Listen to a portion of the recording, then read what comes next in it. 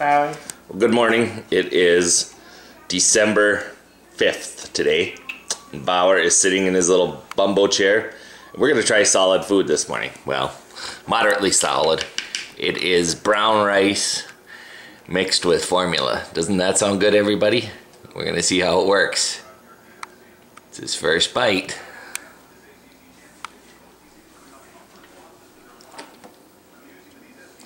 What do you think, Bauer?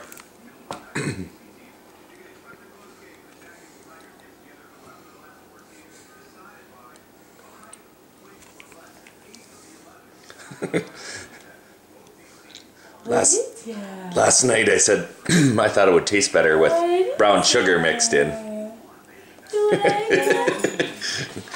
oh, you're just gonna spit it all back out again? Here, let's have a.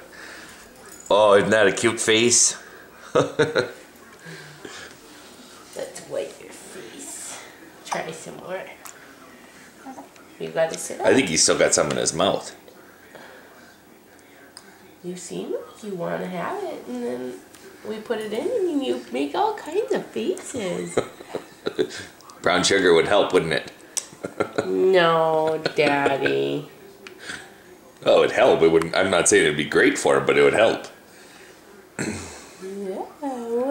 Yeah, that stuff? It tasted pretty good until we put the formula in there. yeah.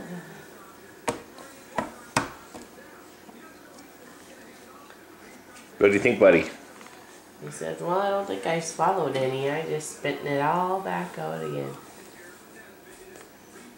Are you done? You want to be done? That's it. Well, maybe you got a little in you. Next time. Maybe you got a little in. Say bye, camera. Bauer. hey. And we'll show you what he's watching. He is watching College Game Day on ESPN. Hey, you. And we have snow outside. We'll give you a little quick weather report.